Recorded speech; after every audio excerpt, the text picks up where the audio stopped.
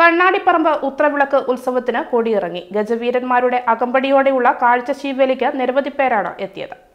ഭക്തജന സഹസ്രങ്ങളെ ഭക്തിയിൽ ആറാടിച്ച് നാടിനാകെ ആഘോഷത്തിമിർപ്പേകിയ ഉത്രവിളക്ക് മഹോത്സവത്തിന് കൊടിയിറങ്ങി. കഴിഞ്ഞ ഏഴു ദിനങ്ങളിലായി നടന്നുവന്ന ഉത്സവ ചടങ്ങുകളിലും കലാ സാംസ്കാരിക പരിപാടികളിലും അന്നദാനത്തിലും അത്ഭുതപൂർവമായ ഭക്തജന തിരക്കാണ് അനുഭവപ്പെട്ടത്.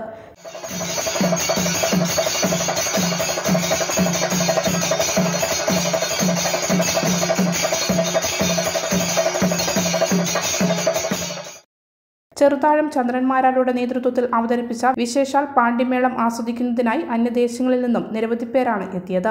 എല്ലാ ദിവസവും ഗജവീരന്മാരുടെ അകമ്പടിയോടെയുള്ള കാഴ്ച ശിവേലിയും ഇരട്ട തിടമ്പ നൃത്തവും ഉണ്ടായിരുന്നു. Malabar Devaswom board president M R Murali commissioner P Nandakumar Thalassery division chairman T K Sudhi തുടങ്ങിയവർ ഉത്സവ നഗരിയിൽ എത്തിയിരുന്നു. മഹോത്സവ ദിനമായ ചൊവ്വാഴ്ച കണ്ണാടിപ്പറമ്പ് ഗണപതി ക്ഷേത്രത്തിൽ നിന്നും കരടിവരവും പള്ളിവേട്ടയും ഉണ്ടായിരുന്നു. പുലർച്ചെ നാലിന് മാങ്ങാട് എരഞ്ഞിരിക്കൽ ദേവസ്വത്തിന്റെ പൂരക്കളിയും നടന്നു. രാവിലെ എട്ട് മുപ്പതിന് ക്ഷേത്രം തന്ത്രി കരുമാരത്തില്ലത്ത പരമേശ്വരൻ നമ്പൂതിരിപ്പാടിന്റെ കാർമ്മികത്വത്തിൽ ക്ഷേത്രക്കുളത്തിലേക്ക് ആറാട്ടെഴുന്നള്ളത്ത് നടന്നു. ആറാട്ടിനു ശേഷം തിരിച്ചെഴുന്നള്ളത്തും കൊടിയിറക്കവും നടന്നു. ആറാട്ട് സന്ധ്യയോടെ ഉത്തരവിളക്ക് മഹോത്സവത്തിന് സമാപനമാകും.